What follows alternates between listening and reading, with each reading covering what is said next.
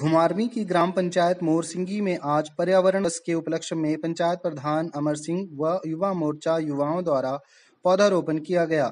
इस मौके पर ग्राम पंचायत प्रधान अमर सिंह ने कहा कि विश्व पर्यावरण दिवस पर्यावरण से जुड़े मुद्दों पर विचार करने एवं पर्यावरण से जुड़ी समस्याओं का हल निकालने के लिए विशेष रूप से मनाया जाता है। इसे पर्यावरण दिवस या इको डे या डब्ल्यू के तौर पर भी जाना जाता है। यह महान वार्षिक आयोजन है, जिसके दौरान हम पर्यावरण से जुड़े मुद्दों पर अपना करते हैं। यह अवसर वातावरण में सकारात्मक परिवर्तन लाने के उद्देश्य से बहुत सारे रचनात्मक गतिविधियों के द्वारा दुनिया भर में मनाया जाता है।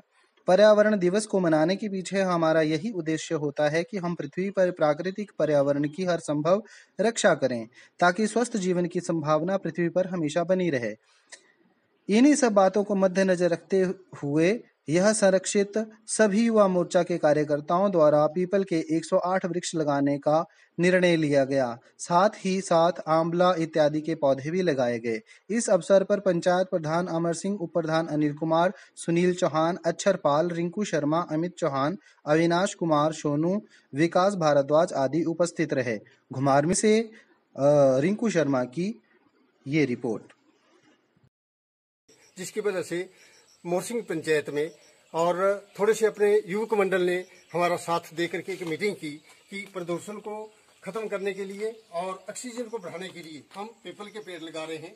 हमारा मकसद है 101 पेड़ पीपल का लगाना, जिससे कि ऑक्सीजन जो है हमें जो कमी हो रही है उसको पूरा किया जा सके। ऑक्सीजन एक ऐसा है जो कि हर एक के लिए चाहिए। पीपल का पेड़ रात और दिन ऑक्सीजन देता है, इसलिए हमने पीपल का पेड़ चुना है। और 101 पेड़ लगा करके हम ऑक्सीजन को जो कमी है उसको पूरा करेंगे।